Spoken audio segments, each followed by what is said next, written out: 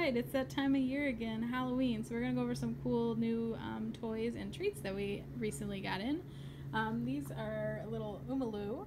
Um, they're made handmade by women in Anatolia, and they have some pretty cool squeakers in them. Yeah. And then there's uh, Huggle Hounds, little pumpkin, scarecrow, and they have a um, scarecrow or crow witch. Jax and Bones, this is a rope toy. So it's really good. You can wet it and freeze it. It's good for teething puppies and also for light chewers. And then over here we have Bocce's Bakery.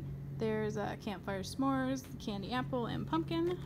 So here's some candy apple. It's apple, cinnamon, honey, and that is the only ingredients in there.